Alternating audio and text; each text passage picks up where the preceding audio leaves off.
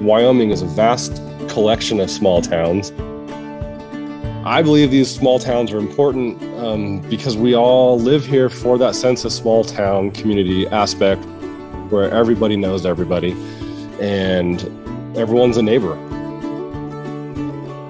It is important to me that we partner with local farmers because then not only does it help our business, but it helps their farms as well. What's been really exciting in the past year, as we've had some visitors from across the country, they have really enjoyed keeping it rural in our slower pace of life out here. The way that these travelers have been respecting everything that's happened, maybe humanity is back. Maybe we're getting back to what makes our country so amazing in the first place. Why is protecting the community so important? To showcase all of our unique small townness that we have in Wyoming. That's why.